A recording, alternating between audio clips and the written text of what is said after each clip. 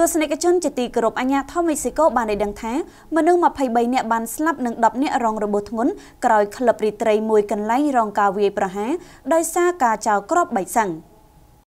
អាញាធមមេស៊ីកូបានឲ្យដឹងថាមនុស្សសរុប23នាក់បានបាត់បង់ជីវិតនិងជាង10នាក់ទៀតរងរបួសធ្ងន់នៅក្រៅក្លឹបរាត្រីមួយកន្លែងស្ថិតក្នុងភូមិខាងកើតប្រទេសមេស៊ីកូបានរងការវាយប្រហារតាមរយៈការចោលគ្រាប់បែកសាំងនេះបើតាមការដកស្រង់កាផ្សាយចេញពីទីភ្នាក់ងារព័ត៌មានចិនសិនហួរនៅរុស្ស៊ីថ្ងៃពុធទី28ខែសីហាឆ្នាំ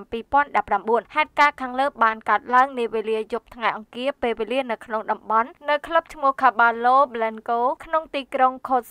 Coza Colcos នៃរដ្ឋ Veracruz ខណៈបើតាមសាក់សីមួយចំនួនមនុស្សមួយក្រុមបានធ្វើសកម្មភាពបាញ់ប្រហាររួចគប់គ្រាប់បែកសាំងទៅលើកន្លែងនោះជាលទ្ធផលមនុស្ស23នាក់បានស្លាប់ក្នុងនោះស្រី8នាក់និងប្រុស15នាក់រីឯ13នាក់ទៀតរបួសគួរជំរាបថាអាជ្ញាធរមេស៊ីកូក្នុងតំបន់កាត់ហេតុកំពុងត្រៀមបើកការស៊ើបអង្កេតលើករណីវាយប្រហារខាងលើដើម្បីវេចមុខក្រុមជនដែលបានប្រព្រឹត្តទង្វើនេះ